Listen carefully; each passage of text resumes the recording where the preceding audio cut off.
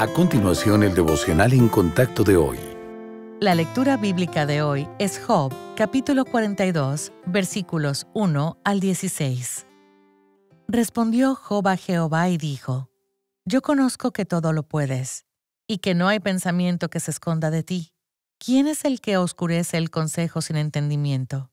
Por tanto, yo hablaba lo que no entendía, cosas demasiado maravillosas para mí que yo no comprendía. Oye, te ruego y hablaré.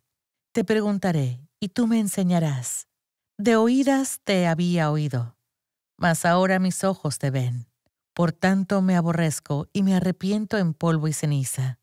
Y aconteció que después que habló Jehová estas palabras a Job, Jehová dijo a Elifaz temanita, Mi ira se encendió contra ti y tus dos compañeros, porque no habéis hablado de mí lo recto, como mi siervo Job Ahora pues, tomaos siete becerros y siete carneros, e id a mi siervo Job, y ofreced holocausto por vosotros, y mi siervo Job orará por vosotros.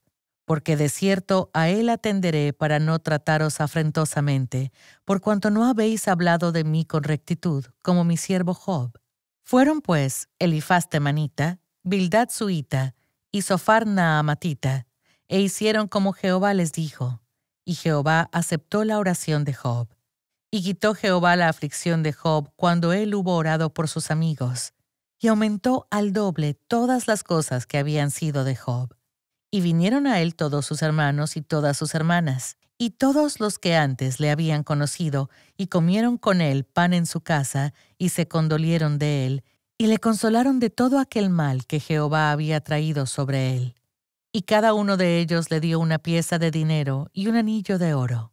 Y bendijo Jehová el postrer estado de Job más que el primero, porque tuvo catorce mil ovejas, seis mil camellos, mil yuntas de bueyes y mil asnas, y tuvo siete hijos y tres hijas. Llamó el nombre de la primera Gemima, el de la segunda Cesia, y el de la tercera Kerenapuc y no había mujeres tan hermosas como las hijas de Job en toda la tierra. Y les dio su padre herencia entre sus hermanos. Después de esto vivió Job 140 años, y vio a sus hijos y a los hijos de sus hijos hasta la cuarta generación. Al final del libro de Job, Dios concede la paz a su siervo y restaura con creces su prosperidad. Vemos que el Señor le había estado prestando atención todo el tiempo, incluso cuando parecía lo contrario. Por las preguntas de Job, somos testigos de la fidelidad del hombre al acudir a Dios con sus dudas. Pero más que eso, vemos la fidelidad de Dios al responder a esas preguntas con su presencia. La historia de Job plantea una pregunta interesante. Cuando pedimos a Dios que nos responda, ¿Nos contentamos con que nos responda solo con Él mismo? Es fácil caer en la trampa de creer que Dios no nos ha respondido a menos que recibamos todo lo que hemos pedido. Pero el ejemplo de Job nos enseña que la manera como reaccionemos cuando nos sintamos ignorados por Dios es la evidencia de nuestra fe. Ya sea que el Señor responda de manera directa o no a nuestras preguntas, ¿qué podemos aprender sobre su carácter? Simplemente lo que Job aprendió. Yo conozco que todo lo puedes,